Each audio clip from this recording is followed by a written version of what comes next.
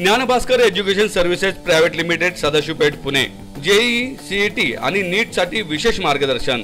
शंभर टक्के यशाची खात्री. उपयुक्त ऑनलाईन टेस्ट सिरीज सोयीनुसार बॅचेस संपर्क W W dot Gyanbhaskar dot com आणि चौऱ्याण्णव बावीस एकतीस चौऱ्याण्णव शून्य एक किंवा चौऱ्याण्णव बावीस शून्य त्रेसष्ट नऊशे तेहतीस वर. राज्यात करोनाचा प्रादुर्भाव वेगाने वाढत आहे. त्यावर बोट ठेवत आरोग्यमंत्री राजेश टोपे यांनी लॉकडाऊनबाबत महत्त्वाचे विधान केले आहे.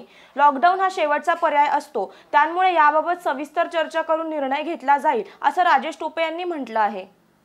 माननीय मुख्यमंत्री महोदयांबरोबर माझी फोनवर काल परवा चर्चा झाली. त्यांनी पण फार चिंता व्यक्त केली. ॲज अ आरोग्यमंत्री ते म्हणाले मला की राजेश जर पंचवीस आणि तीस हजाराच्या दरम्यान हे केसेस जास्त दिवस अशाच राहिल्या तर हे योग्य नाही आहे आपल्याला फार कडक पद्धतीनं याच्यामध्ये जावं लागेल.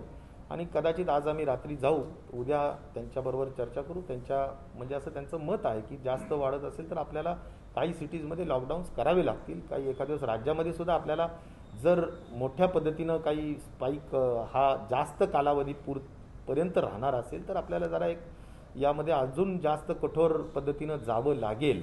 कारण शेवटी लोकांनी सी एम साहेबांनी बऱ्याच मीटिंग्समध्ये आणि पी सीजमध्ये सांगितलं की एकतर कोरोनाच्या संदर्भातले जे काही निर्बंध आहेत ते पाळा नाहीतर मला लॉकडाऊन करावं लागेल. हे नेहमी त्यांनी सांगितलं आहे मला वाटतं आता जनतेलाच मी अपील करेल की खऱ्या अर्थाने आपण अतिशय उत्तम प्रतिसाद द्यावं आणि कोरोना अनुषंगाने जे काही वर्तणूक आहे ती करायला हवी मास्क आणि सोशल डिस्टन्सिंग पाळायला हवं.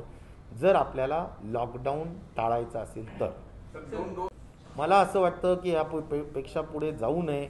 जरूर अपेक्षा अशीच आहे. आता इपिडिमिओलॉजिस्ट इथे आवटी आहेत बरेचशी लोक आहेत. त्यांना मी चर्चा केली आहे सातत्याने. तर एक अजून एक दोन चार दिवस अशा पद्धतीनं राहील आणि नंतर कमी होईल असा अंदाज त्यांनी व्यक्त केलेला आहे.